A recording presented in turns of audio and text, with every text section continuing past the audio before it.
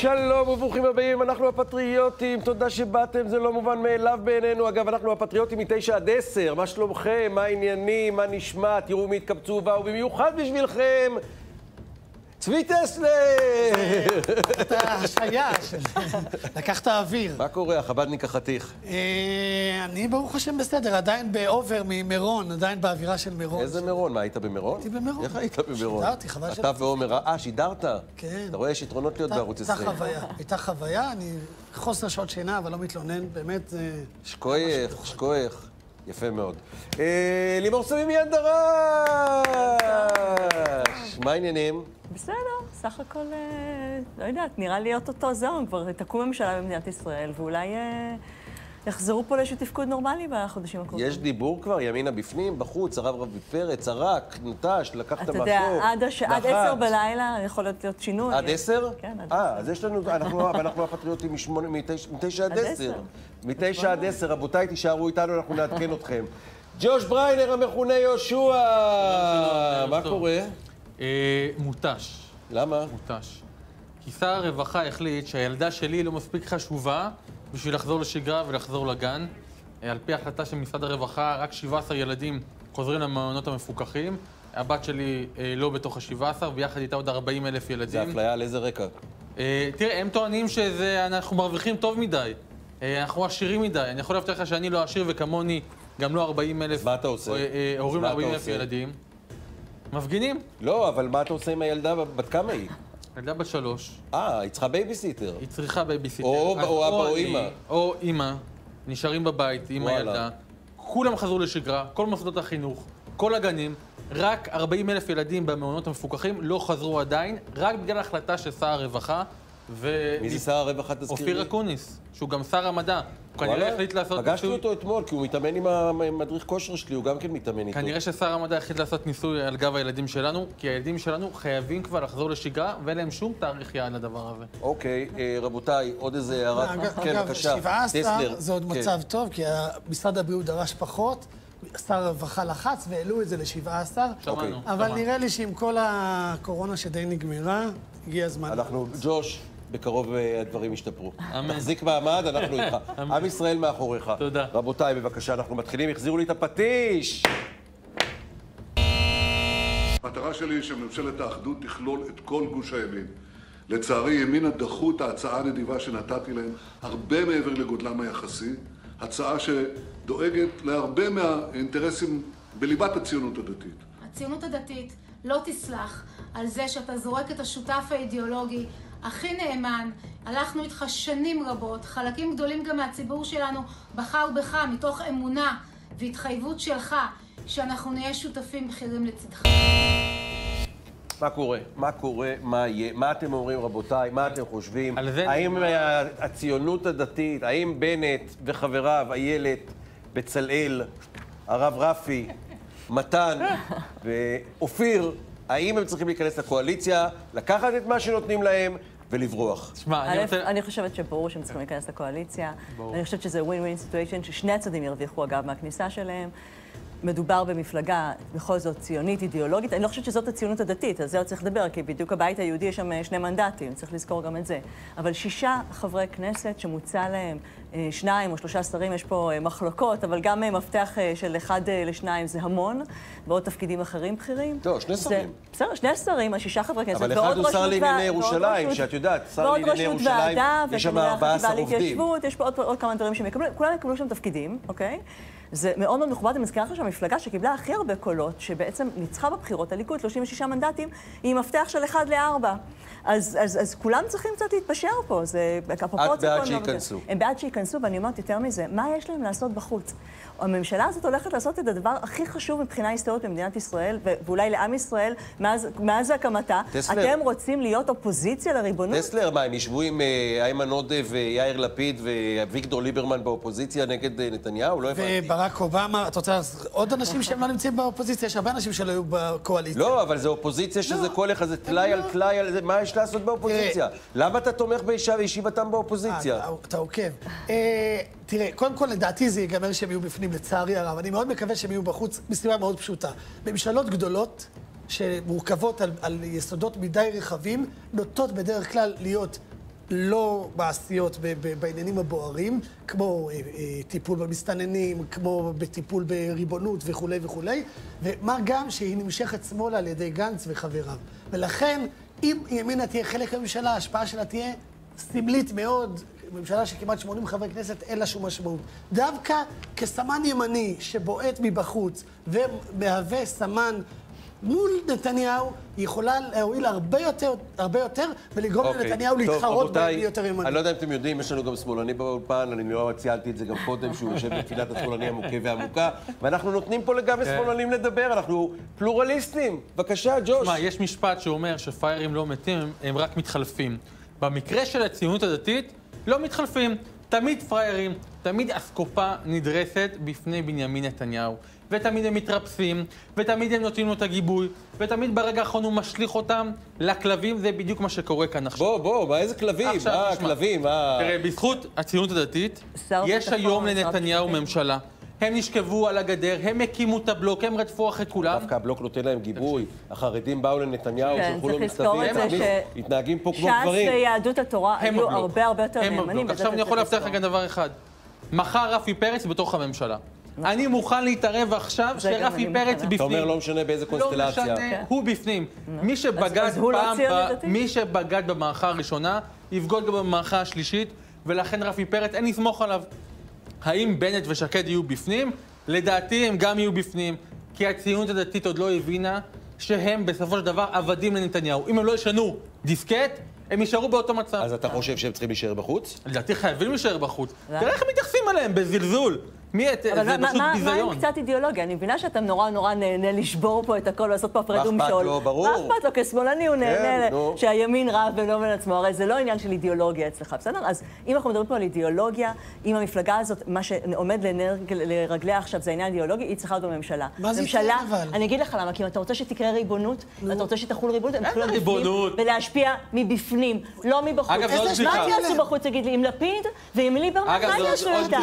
הם השותפים שלהם? איזה אתה יודע מה? השפעה? כי זה מזכיר בדיוק לימור- את השטות הזאת של ברית האחים, עם לפיד, וכל פעם ללכת עם המפלגות האלה, שהן משחקות במפלגות לשון המאזניים, שמה מה עושה האופוזיציה? המטרה היחידה שלה היא להפיל את. הממשלה.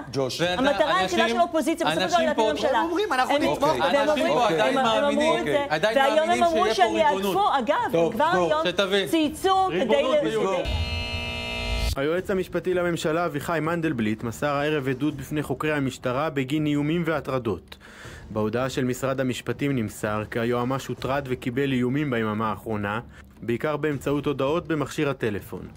לפי עדותו של מנדלבליט, בעשרות ההודעות שקיבל ממספרים שונים, נכתב הלוואי ותמות, אתה מנוול, אתה מושחת, אל תשכח שאתה פגיע ואתה עבריין. בנוסף, נשלחו אל היועמ"ש תמונות שלו במדי אסיר.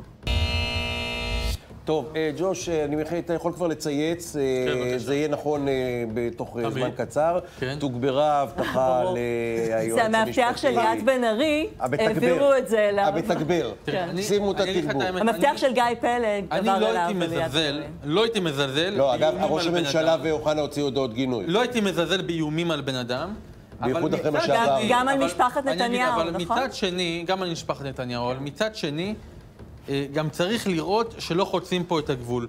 אין שום בעיה שאדם ישלח ל- ליועץ המשפטי לממשלה הודעה שבה הוא אומר, אה, אתה טועה, אפילו אתה עבריין. לא, לא, אבל רואה שלחו לו, "אתה בעיה." פגיע, אל תשכח עכשיו, שאתה אם פגיע. ש- שאלו, אתה פגיע, אנחנו נגיע אליך, עם כל הכבוד, יש גבול. ברור. ואני חושב שההסתה שיוצאת מבלפור, וההסתה איזה הסתה שיוצאת... יצא מבלפור? גינו את זה, וההסתה רגע, גינו את זה. שיוצאת, מבלפור. רגע, שיוצאת שחיים שדמי עומד מבית מדרשו, ואומר שהוא יזרוק בקבוק תבערה, אתה לא מבית מדרשו צייצת, זה לא עניין של אותך. החיילים של בלפור, בסופו של. דבר אנחנו רואים את התוצאות עכשיו.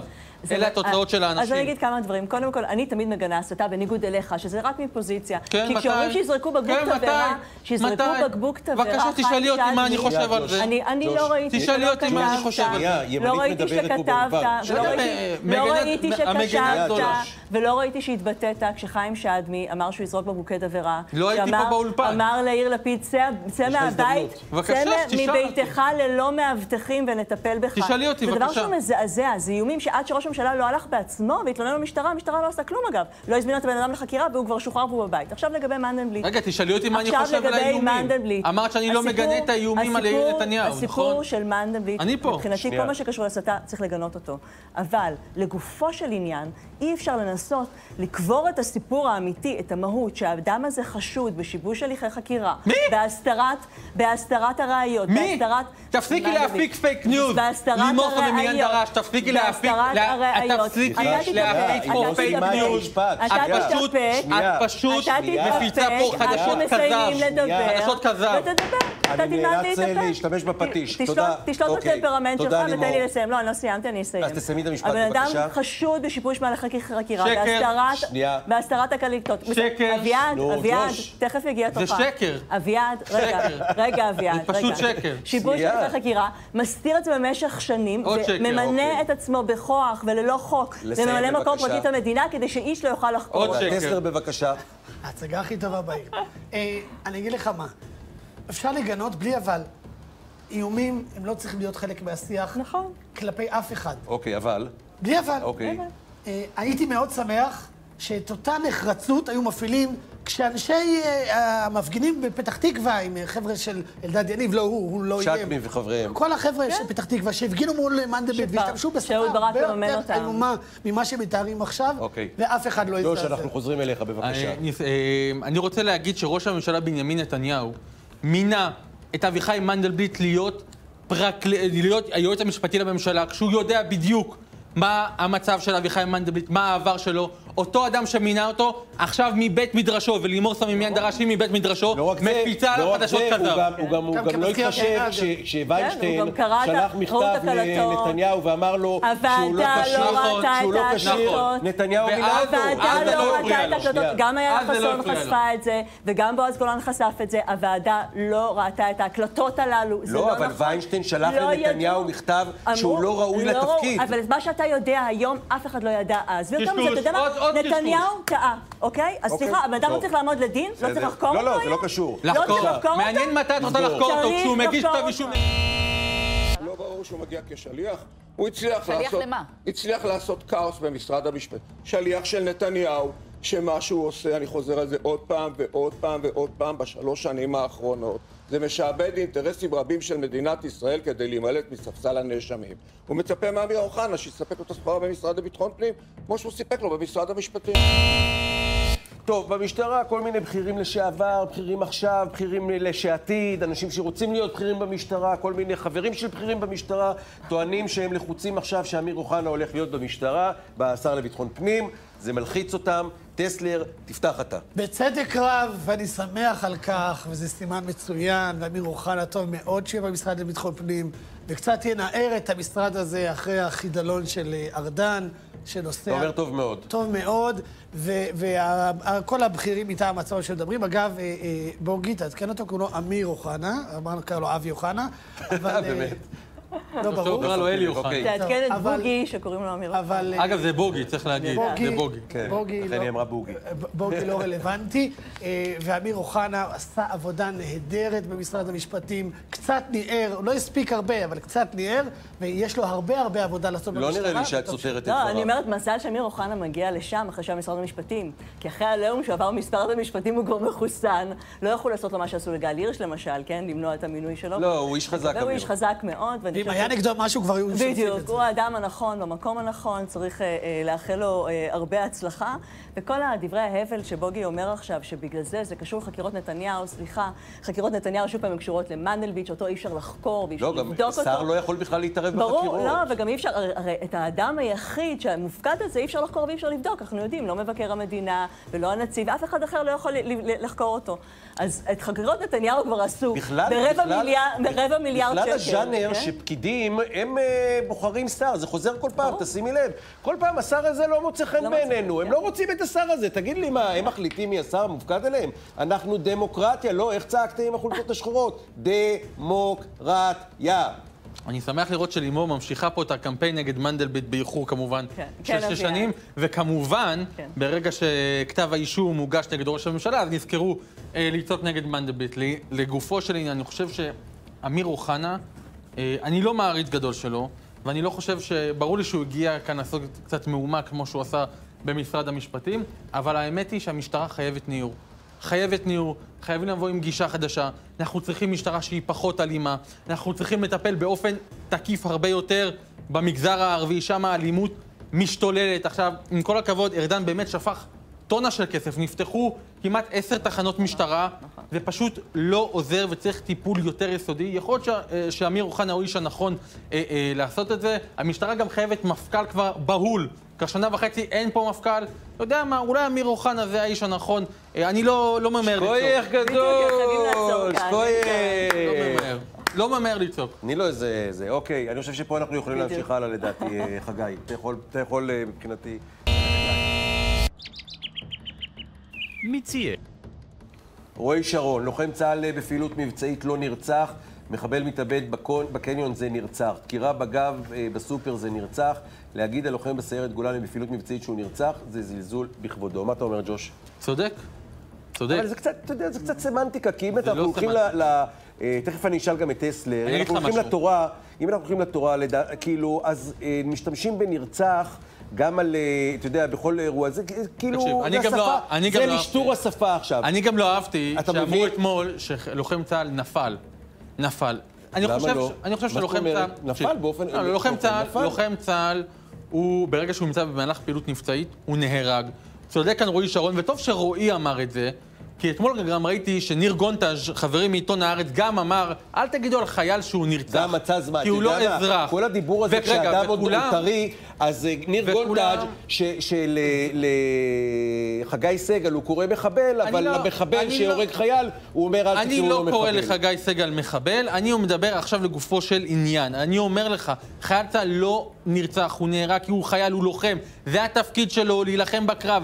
ואם צריך לצערנו גם להקריב את חייו למען המדינה, זה מה שקרה אה, ב- באירוע הנוראי אה, אה, בכפר יעבד. ואני חושב שעם כל הכבוד, עם כל הכבוד, בוא ניתן את הכבוד לחיילי צה"ל. אנחנו אזרחים, אנחנו נרצחים, החיילים מגנים עלינו, אנחנו החשובים כאן, ואם לצערנו קורה הנורא מכל, והם נהרגים בקרב, אז הם לא. נרצחים. אבל זה קצת שיעור של את זה מקונטקסט. שיעור לשון, לא. והחלטות הקונטקסט- מה זה נרצח ומה זה לא, נהרג. לא, לא, לא זה. גם, סליחה, זה לא, הטרמינולוגיה פה הייתה חשובה מאוד, בגלל שהקונטקסט היה שהחיילים האלה הלכו וזרקו עליהם בלוקים. זה הסיפור בדיוק של רצח, זה לא מלחמה עכשיו שיש פה קרב. הם זורקים עליהם בלוקים, ולהם יש לא, הוראות זה פתיחה. קרב, זה ולהם קרב, יש אבל. הוראות, עכשיו זה קרב. זה. ולהם יש הוראות פתיחה באש, על, מה, על במי יורים ובמי במי לא יורים. אם זריקת אבנים תחייב הוראות פתיחה באש, בדיוק כמו נשק חם, אז אני מוכנה ללכת לא, על הכיוון הזה שהוא נפל בקרב. לא, אבל לימור, זה יש לו לא נשק קרב, אבל. זה להוביל אותם יש לו נשק אבל. הטבע. שנייה, הוא בפעילות. יש פה, יש פה כמה היבטים. קודם כל, אה, אה, החיילים הללו, אם הוא היה נופל מק- מקרב של חייל כן. אויב, זה, זה, הוא היה נהרג במלחמה, בדיוק מה שדיברת. אבל פה זה אזרח שתקף אותו באבנים.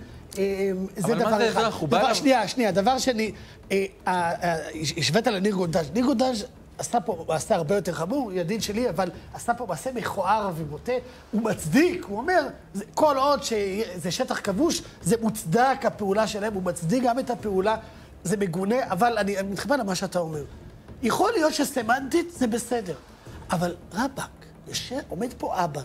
עם הקבר של הבן שלו פתוח, זה מה כן, שדחוף ועכשיו לך. הוא מוצא זמן לצייץ. חכה. זה כן רצח, זה לגיטימי. אתה אומר זה לא למי? כאילו לרועי שרון?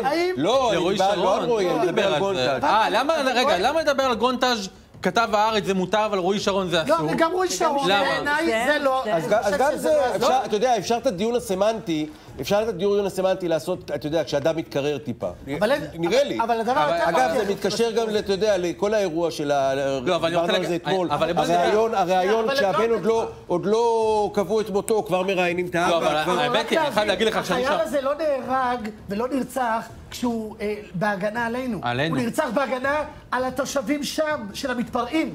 כי אם, כי אם היו אה? פועלים על פי הוראות פתיחה נכון. באש, וכשיש נכון, פה פורעים נכון, זה בדיוק שזורקים. בלוקים על חיילים, לא היה היו. יורים כלפיהם, הוא לא אז היו. מצילים אותם. אה, לא יודע, לא יודע.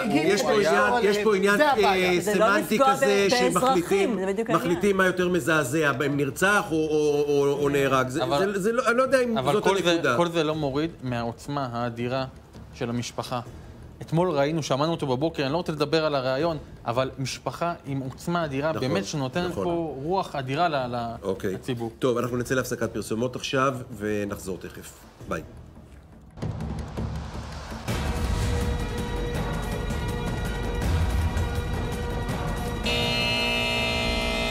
היה מצחיק, אה, תודה שחזרתם אלינו, אנחנו הפטריוטים מ-9 עד 10. אה, היה מצחיק אה, לראות בחדשות שהראו את הסרטונים של האיומים על מנדלבליט, אז מראים את הסרטון הזה, שזה להיט ברשת של השחורים באפריקה רוקדים עם ארון קבורה, כאילו ששלחו לו שזה איום עם ארון קבורה. לא משנה שבהפגנות עכשיו של הדמוקרטיה וכל זה גם היו ארונות קבורה כל הזמן וכל מיני כאלה. השחורים באפריקה? אבל זה לא אותו דבר, רבותיי. בואו נמשיך בבקשה, כן.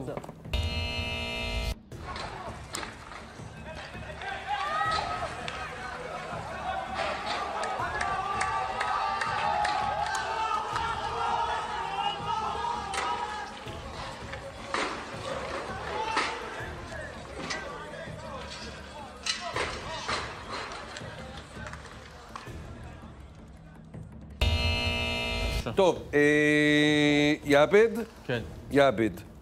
אה, אירוע אה, ש... של המשך כן. הזריקות אבנים. רבותיי, בואו הגיעו, נדבר... הגיעו לעצור שם אה, מחבל אה, שהיה מידע עליו שהוא עם נשק ומתכוון לצאת לבצע פיגוע. זה- הגיע כוח צה"ל. זה באלפואר היום. אלפ- אלפואר. כן, זה לא באלפואר, זה לדעתי ביעבד הדבר הזה. אבל היה עוד אירוע, היה, האם אתם חושבים שצריך לשנות פה את ההנחיות? האם יש מה לעשות כדי להפסיק את הברדק הזה? מעניין, מעניין מה חושבים, אחרי זה בבקשה. יגידו, אחרי זה מעניין. יגידו שהם, אה, כן, שהם לא נרצחים, כן, שהם רק אה, נהרגים. אם, שוב, אם המצב ש, שזורקים אבנים וזורקים בקבוקי תבערה ועל דברים כאלה אתה לא יכול לפתוח באש חיה, ומהדברים האלה אפשר למות, אז אנחנו בבעיה. אז החיילים שלנו לא נלחמים ולא אבל עושים שום העמדה דבר של שהוא צה"ל היא הירואי. כל הזמן שרוצים הם כמה שפחות ערבים הרוגים, כדי למנוע הסלמה. רוצים כמה שפחות הרוגים, נקודה, אני מבינה, אבל אתה לא יכול להקריב את החיים של החיילים שלך. אם החיילים נמצאים עכשיו במצב של סכנת חיים, אז, אז מה אתה עושה? אתה מסרס אני את לא כל חושב היכולת של אחד, הצבא. שיש אחד שחושב שמה שלימור אמר עכשיו הוא לא נכון. ברור שאם היו רואים אה, אה, פלסטיני עם בלוק של אבן עצומה של עשרה קילו, עשרים קילו, עומד להשליך את זה על חייל צה"ל, ברור שהיו יורים, ולפי מה שהבנתי גם ירו עליו. אוקיי, בוא נשים את הדברים בפרופורציה, לא? זה לא שראו אותו עם האבן, אמרו לא, לא, אה, הפצ"ר לא מסכים לנו, לא, לא, הנה עכשיו אני ארים ללימור. מנדלבליט לא מסכים לנו, לא, לא. לא, השאלה אם יש בוא נשים את אווירה הדברים שמפחדים בפרופורציה. לירות. אני לא חושב האם שיש... יש אווירה שההנחיות הן מאוד קפדניות, אני אומר לך- ולא נותנים לחיילים לירות, והחיילים אה, מפחדים, ואם אה, זה משפיע על אתה האירועים... אתה מכיר- מפקדים סיכונים, בצה"ל, אתה אתה מכיר מבין? מפקדים לעמוד, בצה"ל, אה, אני חושב שאין היום אף מפקד בצה"ל, מפקד, לא חייל זוטר, מפקד, שיגיד לך שהוא חושש לראות, שהוא חושש לפעול. יש, נכון, אנחנו פועלים בזירה מאוד מאוד מורכבת, לחימה בטרור עם יד אחת קשורה מאחורי הגב, אם אנחנו רוצים להיות באמת מדינה דמוקרטית, אבל בסופו של דבר אנחנו עושים את העבודה ואנחנו נותנים לחיילים שלנו לפעול, והם יודעים, כשהם בסכנת חיים, הם צריכים לירות, אז אני אומרת נקודה. לך, ג'ושי, דווקא יצאה. תגובה, הייתה תגובה של של מפקד שאמר, בדיוק אחרי- אחרי אחרי המקרה המצער שקרה אתמול, שהוא אמר, הוא כתב, אצלי בפלוגה זה לא יקרה. כשאנחנו נראה מישהו עם אבן, תגידו מי? תגידו להורים מי? שלכם, תגידו להורים שלכם אוקיי, שאצלי זה לא. יקרה. היה, היה השבוע, התלווה צוות של התאגיד ל- לכוח בפעולה, ורואים שם את המ"פ, אם אני לא טועה, אומר, זה לא מצטלם טוב, האבנים, אבל הרכבים שלנו עומדים בזה. זה לא- זה לא בזה- מסוכן או משהו כזה. כן, זה לא נורא, זה לא... לא, לא, אבל הוא לא דיבר על האבנים שנייה, האלה. שנייה. לא, הוא דיבר על. התמונות שאנחנו שנייה. רואים זה יום-יום של אה. כלי רכב צבאי מה של אתה צה"ל, מצפה, שיבואו עם נוסעים תת מקלע? ורוקדים אותם באבנים ובקבוקי התבערה. שיבואו עם הבעיה תת מקלע ויעשו את כולם. מה, לא, באמת, תהיו אני לא רציניים. מתנחם, אני לא, לא עושה לי טוב לראות פלסטינאים הרוגים. לא, זה לא עושה לי טוב לראות ערבי הרוג. אני לא מחפש שיהיו הרוגים. אני חושב אבל שההבלגה על, על ירי על כוחותינו, ועל, ו, וגם מבחינתי בקבוקי תבערה, נכון, וסרטים ברור. כל אלה, הבלגה על כל אלה. גורמות להרבה בוודאי, יותר הרוגים. כי. בסופו של דבר יש יותר אומץ לפגוע, ובסוף זה נגמר בירי. אבל למה אתם מדברים, בהרבה- אבל למה אתם מדברים באוויר? כשדברים קונקרטיים, כשיש בקבוק תבערה ביד של מישהו, מותר לירות בו, נקודה. ואתה רואה, אבל חברים, בפועל, אתה רואה. לא, אני לא בטוח, רק כשיש אתה רואה סכנת חיים. זה לא שאתה רואה בקבוק. תבערה. רואה, ואתה- מישהו עומד לזרוק לעמוד בקבוק תבערה, אתה יכול לירות ולעשות עליו, נקודה. אסור לו לירות, ומה יעשו לו אחר כך, ובואו לא נקפוץ יותר מדי. גם המאבטח היום בבית החולים, שבאים לתפור אותו עם סכין. ומגיב. תעביר בבקשה אה, למאבטח. כן. לפני זמן קצר התקבל אה, דיווח על דקירה וירי בבית חולים תל השומר. בעת בדיקת חשוד על ידי המאבטחים, החשוד דקר את אחד המאבטחים ובתגובה נורה על ידי המאבטחים. הרקע לאירוע ככל הנראה פלילי. החקירה אה, נמשכת. תראה, אני לא עוסקת עכשיו באמת ברקע לאירוע ומה שהמשטרה תחקור, אבל אני מדברת על הסיטואציה עצמה, שמגיע אדם ותוקף מאבטח עם סכין, הוא לא צריך לחשוב פעמיים, הוא נמצא בסכנת חיים. והעובדה שדנים בזה וחוקרים את זה ובודקים את זה עכשיו, בדיוק, רגע, אז הוא הגיע עם, עם, עם בעיה אישית בעניין הזה אני כזאת או מסכים איתך אחרת? לגמרי. אנחנו מסכים שוב, איתך אנחנו, לגמרי. אנחנו אני זוכר גם מהתקופה של מסרסים- הסכינאות שהייתה נכון, פה, התחילו נכון. לדבר על כל רגע, מיני היא עומדת- אנשים רגע, שהם הגיבו בחומרה מדי. מי כן? שבא עם סכין ודוקר, נכון, מחבל נכון. שבא, דמו צריך- בראשו. ואם זה מחבלת היית עם סכין, לא? צריך להגיב נכון. אחרת אם זה קודם כל, מחבל. ג'וש היה באירוע, כל, היה הוא לא בזירה. מחבל, הוא לא מחבל. זה אדם שיש לו בעיה נפשית, אוקיי? וראינו, זה לא המקרה הראשון שדבר הזה קורה. מה אמור לעשות המאבטח? לשאול אותו, יש לך בעיה נפשית לפני שאתה תוקר לי אותי? אני לא, אני מצפה ממאבטח כשהוא רואה מישהו שעומד לדקור אותו, כמובן, לפתוח לעברו באש. הוא דקר אותו ממה שאנחנו לא? ראינו, כשהוא היה על. הרצפה, ממה שאנחנו ראינו לפחות בתמונות, מה ששמעתי היום, אין ספק שהירי היה מוצדק, אבל כן, צריך לבדוק כל אירוע שבו אזרח ואפילו מחבל נורים על ידי כוחות ביטחון או מאבטחים, צריך לבדוק. אנחנו לא יכולים להגיד, אוקיי, זה חולה נפש, אוקיי, זה מחבל. הרע, הלך, הלך. לא, לאנשים האלו יש משפחות, האנשים הללו, המשפחות האלו דורשות תשובות, אנחנו צריכים לעשות תחקיר. ג'וש, אני לא אומר לחקור כל ג'וש, דבר, אני עשיתי לא אומר לחקור. עכשיו אנשים תחת מחר אזהרה. אומר תשודר פה שכל כתבה- מחבל שנהרג מחר- צריך שנייה, לחקור? מחר תשודר פה כתבה שעשיתי עם כן, ריקלין אצל חקלאים על הטרור החקלאי. כן. ואנחנו פגשנו אנשים שלא הולכים עם אקדח, בגלל שכשהם ירו באוויר, החרימו על גנבים. כן, כל מיני אירועים שהם ירו באוויר, החרימו להם את האקדח, הם מפחדים, אז הם לא הולכים עם נשק, הם מפחדים, הם לא לך- רוצים להסתבך. אני אומר לך את דעתי, כשאדם מרגיש בסכנת חיים, או שהוא, אפילו החוק אפ- אפילו מתיר מישהו נכנס לגנוב לך רכוש, מותר לראות בו חוק שי דרומי, ועדיין, כל אירוע שבו אדם נהרג בידי כוחות ביטחון או בידי אבטחה, צריך לב- לבדוק ולתחקר, זה מינימלי. תחקור זה בסדר, אווירה של עליהום, זה היה גם עכשיו, זה היה לפני אה, שבועיים שלושה על, ה, על השוטר, שרואים ממש איך הוא מנסה לדקור אותו באמוק, אדם לא בריא בנפשו, ו- וכואב הלב. נכון, בשביל הבן אתה אדם. צודק במאה אחוז. אנחנו רואים את הסרט עם החייל שבורח מזה שרודף אחריו עם סכין במקום שהוא ירדוף אחריו. זה מה שאנחנו עושים. אני חושב שצריך להיות הרבה יותר אה, אה, קשיחים בעניין הזה. זה אגב מתחבר למקרה שג'וש מכיר אותו היטב עם סלמון טקה. נכון. גם, לא יכול להיות ששוטר יפחד לפעול בשטח בגלל החשש בהם. לא, אבל זה קצת זה שונה. אבל קצת אבל, שונה. אבל מי שיוצא מהבית עם סכין בכיס, שידע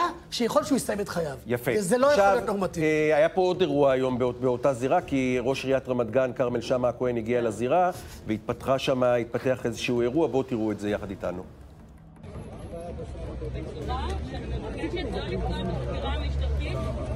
מה זה תודה רבה לי? לא צנזורית שלי. אני קצינת משטרה ואני מבקשת ממך... מפקד המרחב. לא, אני עובד מול מפקד המרחב. ואני עובדת בהנחיית מפקד המחוז. אוקיי? אני אבקש ממך לא לשבש את החקירה. מתנהגת לא יפה. אבקש ממך לא לשבש את לא החקירה. תודה. אני אומר לך שהיא מתנהגת לא יפה, אתה צריך להעיר לה. אני לא קצינה שלו, אני קצינה במשטרת ישראל ואתה מוזמן להגיד מה שאתה רוצה עליי. זאת אה, מירית בן מי מיור. זאת, אה, ג'וש? זאת אה, סגן ניצב מירית בן מיור, היא דוברת מחוז תל אביב. והוא רצה מה, לבוא לא, הוא לזירה? הגיע, הוא הגיע לזירה והוא בא לתת פרטים על האירוע מתוקף היותו ראש עיריית רמת גן, והיא שמעה את הפרטים שהוא מוסר לעיתונאים והיא באה להתערב כי לעמדתה הוא אה, משבש את, החקירה. מה אתה חושב על זה? אה, אני חושב שכל הסיטואציה הזאת הייתה מיותרת. מיותרת לחלוטין. מיותרת לחלוטין. אה, אני יכול להבין אותה, אבל מצד שני, זה לא, אני לא חושב שזה לא מקום של משטרה לבוא ולהעיר לאנשים שמדברים עם התקשורת, עם כל הכבוד. אני דווקא ב- חושבת שכרמל שאמה, לצערי, בזמן האחרון שהוא הולך מדחי אל דחי, הוא מתחיל להזכיר לי קצת את רון חולדאי, ואולי בצעירותו, ונראה מה יהיה אחר כך. אז הסיפור. הוא דווקאי כזה, כן, תחבורה בשבת, גדר מול בני ברק, עכשיו הוא ככה מתנשא מול השוטרת הזאת, והוא אה, עושה שם סדר בעניינים. לא אוהבת את ההתנהגות הזאת. לא אגב, מתחברת. זה מעניין שעכשיו לימור פתאום בעד הפקידים, מה שנקרא, אוי, לא, לא, נו, זה לא באמת. קשור לפקיד. ונבחרי עכשיו, הציבור, לא קשור לפקיד. ונבחרי לא, הציבור זה לא- עכשיו... אנחנו נורא... Second, we'll, we'll get a chance to, to talk about the vision for peace. We're now some months on uh, from the day that you came to Washington when President Trump announced that vision for peace when you were there. Uh, there remains work yet to do, and we need to make progress on that. I'm looking forward to it. אוקיי, אוקיי, פומפאו פה, אה, טסלר, אתה ראשון. בבקשה, בתור מזכיר? המדינה. פומפאו פה, נו מה, אז מזכיר פומפאו המדינה, פה. אה, בסדר, מה-. מה- גליק? אה, יש סיפוח, אין סיפוח, מה? תראה, אה, אה, אתה יודע, לפעמים אה, אומרים שהזיהוי זה רעידות אדמה לפי החתולים שעולים על הפחים, אז הצבא, לא, בלי קשר. הצבא נערך אה, כבר להשלכות של החלת ריבונות ביהודה ושומרון ובבקעת הירדן כבר בזמן הקרוב. כשהצבא נערך לזה, זה מבחינתי, הלב מתרחב, ו... אה, אבל לא, לא, לא דיבר פעם פה על העניין פומפאו. פעם, פעם שעברה שהצבא נערך זה היה לפני השגרירות, מה יקרה אם יפתחו את השגרירות, וברוך השם, שגרירות בירושלים, וזה קרה. יפה. בעזרת השם גם הסיפוח יקרה, כשימינה תהיה באופוזיציה וזה יהיה מצוין. כן, אתה יודע, אוקיי. צחקו ואמרו, אבל הנה, הוא הגיע עד לכאן, דיבר קצת על סין, אמר משהו על החייל שנהרג, ולא דיבר על הריבונות. אז תראה, לפני, אה, לפני שהוא הגיע לכאן, הוא אמר שהריבונות תלויה רק במדינת ישראל. לפני שבוע השגריר דיוויד פרידמן אמר שתוך שבועות ספורים ישראל יכולה להכיל ריבונות. אז אני לא צריכה שארצות הברית תצייץ, אה, כן, אה, כל, אה, ב-24 שעות ביממה תגיד, תכילו ריבונות, תכילו ריבונות. מבחינתי, באמת, המחויבות האמריקנית, אין ספק לגביה. מה שכן יש ספק זה שוב פעם לגבי השמאל הישראלי והתקשורת, שמה הם עושים? הם כבר הכינו את, את הקמפיין נגד הריבונות. קודם כל מזכירים לנו עכשיו השכם והערב מה, מה אירופה אומרת, מה האיחוד האירופי אומר, ומתחילים לעודד אותם לכיוון של סנקציות. אחר כך אנחנו שומעים את מפקדים למען, אה, אה, למען שעשו איזה פייק סקר. עשו איזה כן, פייק סקר, ש- ראיתי את הסקר הזה, וראיתי מה כן. הם שאלו, מה השאלה, איזו שאלה הזויה בכלל. אז קודם כל מדברים על סיפוח, כי, כי, כי, כי זה שטח שהוא לא שלנו, אז מבחינתם זה סיפוח. לא, וגם הם. מדברים כל הזמן כאילו הולכים לספח שם שניים וחצי מיליון פלסטינים. כן, להפוך אותם לאזרחים, והם אומרים שזה קץ החזון הציוני. אז, אז מבחינתי הרבה יותר מדאיג אותי לא הם פייק. אומרים, מה אומרים האנשים פה בפנים. ג'וש, כן, אתה קצת שקט אני באירוע אגיד הזה. לך, אני אגיד לך, אני שומע כמובן את האזהרות של מערכת הביטחון, ואני גם ממליץ להקשיב להן. ברור, כי אבל צונאמי מהסיבה תמיד יהיה הפשוטה, פה. אני אגיד לכם למה אני לא מוטרד.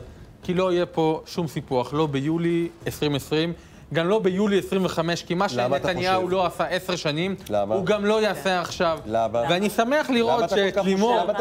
מאמינה כל לא כך? תסביר. שתהיה פה החלת ריבונות ויהודה ושומרון וזה. זה זה לא לא יקרה. כי נתניהו אין אומץ לעשות את זה, והוא לא יעשה את זה לא ביולי עכשיו, וגם לא ביולי שנה למה את הבאה. השגרירות הוא העביר, ואת ההכרה. בירושלים הוא העביר, אני אומר ואת הריבונות על אה, רמת הגולן הוא העביר, ומה, למה אתה חושב שלא? ויותר מזה, תראה, משהו השתנה... שמפניה, איך אומרים, ה- ה- משהו הפאב נפתח? שמפניות לכולם, מבחינת- שמפניות ורודות לכולם. אם ביולי, ב-31 ביולי יש פה ריבונות על. משהו, על משהו ביהודה. ושומרון. אי אפשר להתעלם. מזה שמשהו השתנה מבחינה פרדיגמטית. שום דבר לא השתנה. הברית, והגיבוי של ארה"ב הוא כל כך משמעותי. אתה יודע למה תהיה ריבונות? אם נתניהו ירגיש שמשהו בוער לא, במשפט לא, שלו, אז לא תהיה תהיה ריבונות. ריבונות אם יהיה לנו את הבצלם ושוברים שתיקה, כדאי לא משהו במשפט. רבותיי, אנחנו יוצאים להפסקת פרסומות, אתם רוצים שאני אגיד לכם מה יהיה אחריהן? אני אגיד. לכם, אין שום בעיה. מירי רגב הולכת... אה, אה, בג"ץ נדבר על מירי רגב שהולכת אה, להיות שרת החוץ שלכם, ונדבר על אה, החרדים שהתנפלו על, על רזי ברקאי ולמה, ודודי אמסלם ולונדון, ובדיחות אה, דוד לוי חזרו עכשיו על דודי אמסלם, נשאל מה זה אומר על כולנו. ואם אתה מודאג, אז דברים. קווי היסוד של הממשלה הונחו על שולחן הכנסת, יש יפה. 24 בבקשה. שעות קדימה. בבקשה.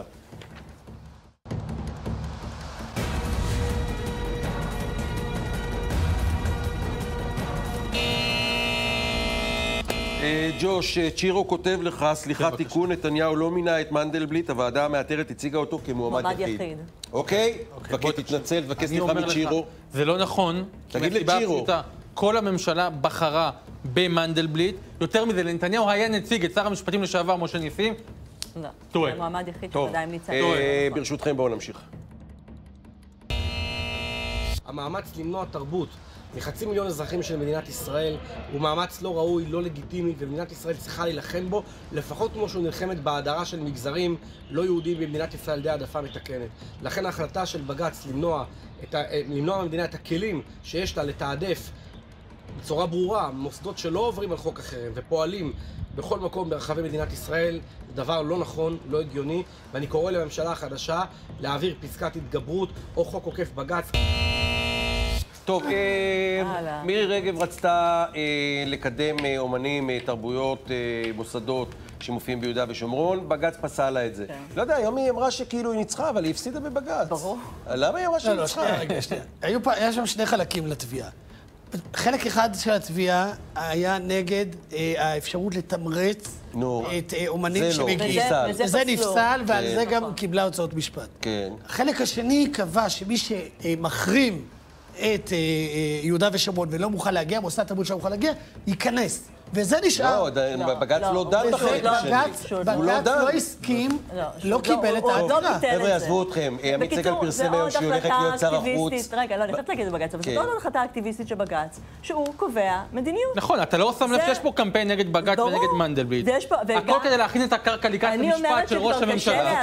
אז תן לה לדבר, בג"ץ. בבקשה. אני לא אומרת לא שכבר אוהבת קשה את ההחלטה להבדיל לא בין- בין של בג"ץ. המדיניות של בג"ץ והמדיניות של היא לא האיחוד האירופי שום פה. החלטה של בג"ץ, כי הכל הכנה לקרקע שקשה למלחמה להבדיל נגד בין מערכת המדיניות של המשפט. בג"ץ, לא, יש פה החלטה אקטיביסטית של בג"ץ, שמתערבת שוב פעם, שממציאה פה איזשהו חוק חרם חדש, מאפשרת בעצם את החרמות הללו, באמתלה של חופש ביטוי, ובעיניי זאת קביעת מדיניות. זה דבר אחד. דבר, כן, אגב, אפליה דבר- מתקנת מותר לעשות במקרים אחרים. אבל פה לכאורה לעשות אפליה מתקנת פה הם זה לא נותנים. מאשרים חרם בפועל, ואני לא מבינה בכלל מה מירי רגב חוגגת, אין על מה לחגוג. זאת החלטה מאוד מאוד אקטיביסטית ומסוכנת. דבר שני, מה שהיה מעניין לראות, שמי היה בדעת המיעוט? השופט מינץ, שהוא. מתיישב. מה לא, זה אומר? כי הוא גר שהשופטים בהתנחלות. הם לא בני אלוהים. הרקע הפוליטי והאידיאולוגיה שלהם כן משפיע על העמדות שלהם. ברור. כמו שזה משפיע עליו בדעת. המיעוט, זה משפיע גם עליהם בדעת הרוב. אבל זה גם לא משנה, תמיד אפשר לדעת מראש, בדעת המיעוט. יפה, אז הגיע. הזמן לפתוח את הדרך. של מינוי שופטים ולעשות אותם. שהם יהיו מייצגים יותר. יפה, עכשיו אני רוצה לשאול אתכם, רגע, אני רק עכשיו. אני רוצה לשאול אתכם על זה שמירי רגב הולכת להיות שרת החוץ. מה דעתכם? אני לא מאמין, אפילו לא לרגע אחד, שעוד שנה וחצי, נתניהו יסיר את... אה, אתה אומר, את- אתה לא רואה יפרוש סרט מתפקיד כזה. ראש הממשלה, לא רואה סרט כזה. גם אני ממליץ למירי רגב להקשיב מה יש לניר ברקת להגיד, ולשר משה פייגלין להגיד, וליושב ראש מינהל מקרקעי ישראל משה כחלון להגיד, כל האנשים שקיבלו הבטחות מנתניהו, וכולנו יודעים איפה הם היום. את רוצה להגיד משהו? למה לא, את אני צוחקת? מה אני לא מבין? כי היא גם לא מאמינה. לא, ממש לא, לא. לא. אני אחבר את הסיפור של מירי רגב, כן, אה, לסיפור של אה, דודי אמסלם, דודי אמסלם, זה- אבל זה, אנחנו עוד 20 אני האייטם הורסת- הבא. אני הורסת את האייטם הבא. לא, יש לי ש... אני רוצה להגיד משהו לגבי מחר. אני באמת, עד שאני לא רואה בעיניים, בעיניים שהממשלה הזאת מושבעת, אני לא מאמין שנתניהו ילך לזה א', עד הסוף. גם אני, גם אני, גם אני. גם אני לא מאמין שזה. אני גורר עוד תחושה. 12 שניות בלהגיד לא, גם אבל- אני, גם אני, גם אני. אבל כן? כששר המשפטים הוא מכחול לבן, זה לא מעניין מי יהיה שר החוץ. ופסיקות בג"ץ כאלה ימשיכו, ולא יהיו שופטים אוקיי, שמרנים. בבית המשפט. בואו. נמשיך. ישראל 2020. שתי תמונות, שתי מדינות. האחת, חיילים עטויי מסכות קוברים את חברם, עמית בן יגאל, שנפל בפעילות מבצעית ליד ג'נין. אבא שלו, ששכל את בנו היחיד, ממרר בבכי. הנה ידיי שחתמו לו על קרבי. גם באירוע הקשה מנשוא הזה, מנסים לשמור על מרחק אחד מהשני. תמונה שנייה, בית שמש, בני ברק, מאה שערים, הר מירון. הם שוב מתפרעים, מצפצפים על ההוראות, יורקים על שוטרים. את מחיר ההפקרות שלהם שילמנו כולנו אחרי פורים, גם עכשיו נשלם. טוב, התגובה החרדית אה, לזה הייתה הפצה בוואטסאפים הקבוצתיים של המגזר החרדי. אה, שם של יעקב אחד עם הטלפון של רזי ברקאי, שהוא מוכר ארבע טיטולים של אגיס ב-60 שקל. ו- ומאז הטלפון של רזי ברקאי לא מפסיק לצלצל, עשו את זה לרינה מצליח, עשו את זה לבן כספית. עכשיו, רזי, אם אתה, אתה צריך אגיס, אה, טיטולים, יש, יש לי מבצע בשבילך, ארבע ב-60 שקל. יש לי את האצבע של רזי. אבל הם התעצבנו אבל- על ההכללה הזאת. ואני אגיד. לך משהו, לא שמים לב שכל הזמן אומרים פה החרדים, החרדים. נכון. יש פה קבוצה של איזה מאה אלף אה, העדה החרדית, של הפלגים הקיצוניים. שהם אנטי-ציוניים, והם עושים הפוך בדיוק ממה שהדברים, ובאמת צריך להכיל עליהם משילות וריבונות. הרבה- הרבה פחות רוב מ- החרדים לא שם, וזה באמת לא בסדר, הדיבורים אבל האלה. זה קודם כל זה הרבה פחות הזמן. מ-100 אלף, וב' מה אתה אומר? א', זה פחות מ-100 אלף, וב', לא, לי הרי יהודה יהודה משי זהב שזה עשרת אלפים משפחות, אני אומר כל משפחה שמונה ילדים. כשמדברים, בסדר. לא, יש גם גם קשישים. אז זה 80 בתוכם. אלף. כן. לא, כשמדברים, אבל שני הורים. אוקיי. ג'וש, אני טוב במתמטיקה שלוש יחידות. כן. כשמדברים, הרי, הפרות, בוא, תפתח קצת וצא מגלי צה"ל, פתח את החלון שלך ותראה מה קורה למטה ותראה מה קורה בטיילת ובים ובכל מקום ובקניונים ובתחנה המרכזית ובכל מקום. זה, זה כזה אה, אה, אה, פופוליזם מכוער, אבל זה גם הסתה. כי אתה מפנה אצבע בצורה מכוערת ומבישה. ואם כבר אה, השוואות, אז בזמן שאבא קובר את בנו יחידו ששלח לקרבי. זה המשיך אחרי זה שם- שאנחנו משרתים בצבא בשבילם. יושבים מיני כאלה. שם חבורה מופקרת על חשבוננו בגלי צה"ל, שבמקום לשרת את המדינה ולשמור עליה, מסדרים לעצמם ג'ובים ונהנים מהחיים. זה בושה וחרפה. אגב, תשים לב, ערבים אסור להגיד, אנחנו מדברים על זה אסור כל פעם, להכליל אבל חרדים. כל הזמן החרדים, החרדים. תקשיב, אני אבל רוצה היא לדבר רגע, אני רוצה זה בדיוק מה שרינה רזי. אני מצליח עשתה. בתקופת הקורונה, שהיא ישבה באולפן והיא שאלה את הרופא, תגידי. כמה חרדים יש אצלך בבית החולים, בתקווה שהוא יגיד לה שהחרדים השתלטו והמערכת קורסת. קודם כל, בוא נגיד, נשים את הדברים על השולחן. כל, הדיבורים על הם ואנחנו מיותרים לחלוטין. דבר שני, להגיד, רזי זה ברקאי לא פופוליזם, מייצג אותך? זה פופוליזם, אני רק מייצג את עצמי וגם זה בקושי. ככה זה שמאלנים. רזי. ברקאי, עם כל הכבוד, עם כל הכבוד, להגיד, תראו מה קורה בהלוויה, שגם שם, בואו, בינינו, לא באמת שמרו על מרחקים, כי אי אפשר לשמור על הלוויה כל כך כואבת על מרחקים. ואז להגיד, או, תראו מה קורה בל"ג בעומר, איך אפשר בכלל להשוות בין, בין הדברים האלה? זה לא בר השוואה, גם חגגו אתמול בתל אביב בזמן שהייתה, קברו את החייל הזה, המסכן הזה בבוקר, בוא, זה, זה לא מקום להשוות. עכשיו אמרנו את הדבר הזה.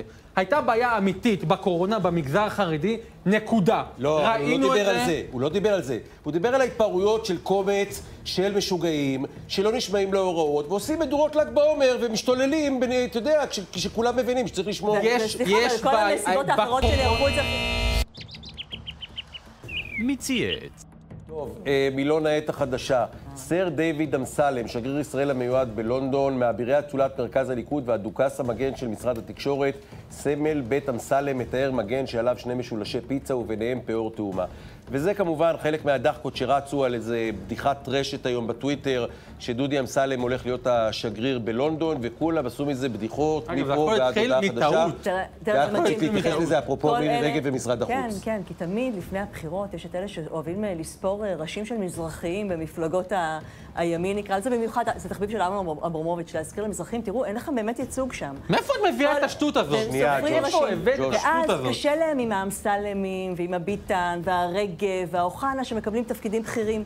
מאוד מאוד קשה להם עם זה, מרוב שזה שהם בכלל לא גזענים כלפי מזרחים. עכשיו אני רוצה לשאול ואני אותך. רוצה להגיד לך, לא, אני אגיד לך, כשאני, יערה ואני ראיינו את בן רד בשבוע שעבר, הוא אמר משפט מאוד קשה, והוא לא מגיע מהמחנה שלי, הוא מגיע מהמחנה שלך, והוא אמר, אין למזרחיים מה לחפש בשמאל. הם לעולם לא יקבלו אותנו כפי שאנחנו. זו עכשיו אני המסקנה רוצה שלו. לשאול אותך- אגב, לפי דעתי, גם דינה דיין בדרך עכשיו. אני רוצה לשאול אותך, העניין פה? הוא הדתי, העניין הוא פה הוא הדתי, הבדיחות על דודי. אמסלם, סטייל דוד לוי, או שיש עניין שדודי אמסלם... הוא לא אישיות באיכשהו אנחנו אז- רואים אותו אבל- כשגריר, ומירי רגב היא לא הבן אדם הכי, נגיד, ייצוגי, או, ש, או שאנחנו, זה הסטריאוטיפים בדיוק על המזרחים. אבל זה, זה בדיוק העניין, הרי התגובות לא היו, רגע, מה עמדותיו של דודי אמסלם? האם הוא יכול אה, להתערות עכשיו בממשל הבריטי ו- ו- ולשוחח איתם? לא, הדיבור, הדיבור היה על האנגלית, האם היא שגורה בפיו או לא, אולי איך הוא נראה, אולי על תנועות הידיים שהן מוגזמות שהוא מדבר איתם, על זה, זה בדיוק הסטריאוטיפ הגזעני כלפי מזרחיים שחוזר.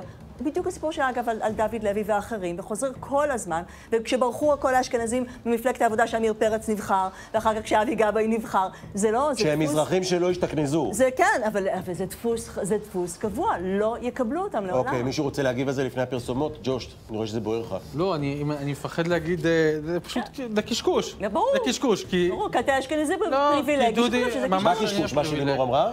לא, כל פעם מנסים להכניס את הדיון לתוך התבניות של מזרחים, אשכנזים. וזאת התבנית. מה, אין עניין? תראה, קודם כל דודי? אמסלם, מה, דודי באת עכשיו להתהפך עליי? לא, אין עניין? דודי אמסלם, עם כל הכבוד, להיות שגריר בלונדון זה תפקיד מאוד מאוד חשוב.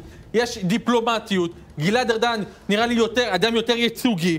אה, אה, הוא אשכנזי. לא קשור לאשכנזי. גבי. אשכנזי עומד להיות עכשיו שר החוץ. כן. הוא לא אשכנזי, הוא סורי, אוקיי? הוא חצי בולגרי. עם כל הכבוד, מה, עכשיו נגיד שהוא לא מתאים כי הוא מזרחי? תפסיקו כל הזמן לחפש את זה. לא, לא, כל בסדר. הזמן מחפשים, אוקיי, כל טוב, הזמן. פרסומות, נחשוב על זה בהפסקה, בסדר גמור. קדימה.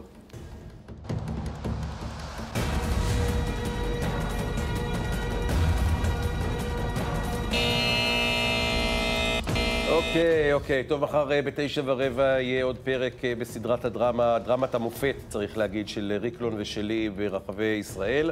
אה, יצאנו הפעם לבדוק את הטרור החקלאי אה, בפריפריה. הנה קטע. אה, המטע או השטח החקלאי משתנה, השם של החקלאי משתנה, השם של התוקף משתנה. הסיפור הוא פחות או יותר אותו סיפור. הסיפור אומר שבשטחים הפתוחים במדינת ישראל, שזה 90% בסוף מהשטח, יש בעיית אה, משילות קשה. ריבונות, אתה מתכוון. ריבונות ומשילות. ואז בשטח הזה יש בריון שכונתי, שעושה בשטח אה, מה שהוא רוצה פחות או יותר. ו... מי זה הבריון השכונתי, אורי? במקרה הזה, זה חבר'ה מרמלה ולוד. מה מאפיין אותם? מה, אתה... מאיזה לאום הם? כן. ערבים. טוב, אה, תגובות? תגובות מישהו? לפרומו המדהים? אין. זה כי יש הרבה קטעים מה- מצחיקים. מה רקלין החזיק שם? דגל ישראל. מה, הוא מסתובב הוא כולה? מסתובב עם דגל להחיל ישראל, ואנחנו. ציונים גאים, ואנחנו אה, באנו להכיל ריבונות. בפריפריה. תודה רבה, מחר בתשע ורבע. אה, עכשיו, אה, יאללה, תקתק לפני סיום. קדימה.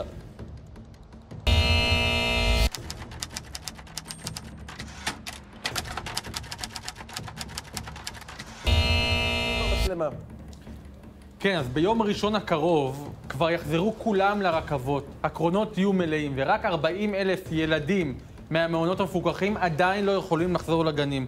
גם הבת שלי בתוך ה-40 אלף הללו, שרואה את החברים והחברות שלהם חוזרים וחוזרות לגן, ורק הם מחוץ לגן. אנא, ראש הממשלה, שר הבריאות, שר הרווחה, תתערבו למען הילדים. הם גם רוצים לחזור לשגרה.